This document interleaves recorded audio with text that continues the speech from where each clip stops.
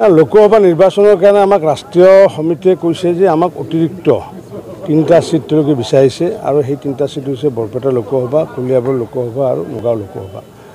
আৰু সেইটোৰ কাৰণে আমি ইতিমধ্যে বুথ সবলীকৰণ প্ৰক্ৰিয়া ইতিমধ্যে আমাৰ ৰাষ্ট্ৰীয় সভাপতি জে পি নাড্ডা ডাঙৰীয়াৰ নিৰ্দেশত আৰু আমাৰ ৰাজ্যিক সভাপতি ভৱেশ কলিতা ডাঙৰীয়াৰ সহযোগত আমি ইতিমধ্যে সমগ্ৰ অসমতে ইতিমধ্যে বুথ সবলীকৰণৰ প্ৰক্ৰিয়া ইতিমধ্যে আৰম্ভ হৈছে।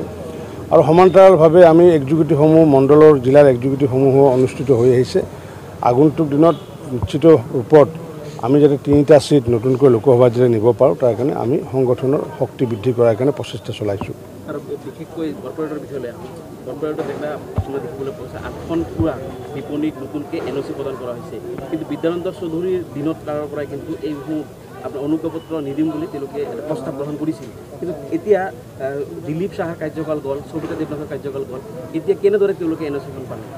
নাই নাই এন অ' চিটো আমাৰ বৰপেটাৰ পৌৰসভাই কাকো এন এন অ' চি দিয়া নাই আৰু নিদিও আগন্তুক দিনত। ইতিমধ্যে আমাৰ পৌৰসভাৰ পৌৰপতিয়ে এই কথাটো লৈ পেলাই স্পষ্টীকৰণ দিছে। আমাৰ এই ক্ষেত্ৰত বৰ্ডৰ যিসমূহ ৱাৰ্ড কমিশ্যনাৰ ৱাৰ্ড কমিশ্যনাৰসমূহৰো এটা সিদ্ধান্ত যে আগন্তুক দিনত বৰপেটা ৰোডত নতুনকৈ কোনো ধৰণৰ আমি উইল লাইচেঞ্চ দিয়া নহ'ব।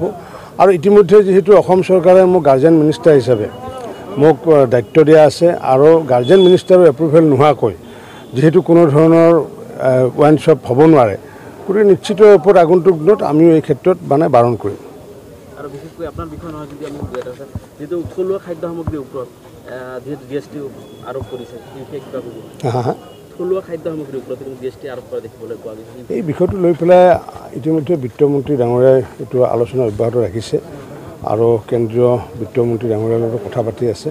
গতিকে আগন্তুক দিনত নিশ্চিত আহ, ইয়াৰে কিবা এটা সু মীমাংসা এটা হ'ব।